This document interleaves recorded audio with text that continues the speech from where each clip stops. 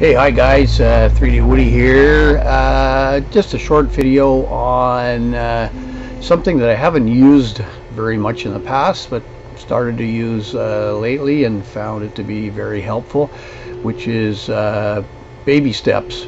Um, they uh, basically help you if you look if you see your uh, your first layer's not quite where you want it uh, not flat enough or or maybe it's uh, too flat and you just need to dial in a little bit more uh, baby steps is uh, is excellent. So you know you're just gonna basically once the print starts um, and you're probably on your brim layer or something like that um, or support layer you just uh, and you see it oh boy that's not quite what I wanted uh, then you just start dialing in those baby steps uh, go into tune go into baby steps and you can dial in either negative or positive uh, depending what your problem is and um, uh, just tune that thing in there uh, perfect. So just grab the camera here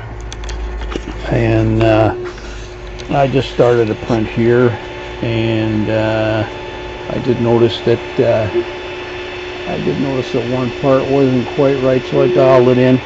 Uh, I can't really show you all that anymore but basically what we're looking at is uh, let me get the camera okay here. So while the print is going you're gonna hit it here.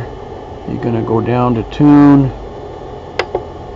And you have to dial down a bit but you get near there Babystep Z and hit that and then uh, just dial yourself in uh, whatever you want plus or minus and that'll really uh, help your print come along.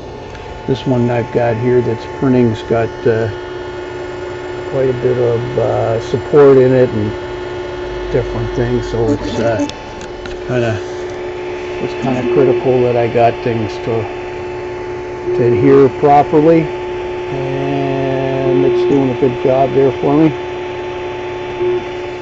So anyways just thought I'd make a quick uh, video there on baby steps and how it can help you out. Uh, it's uh, it's really good. Um, catch you later. Bye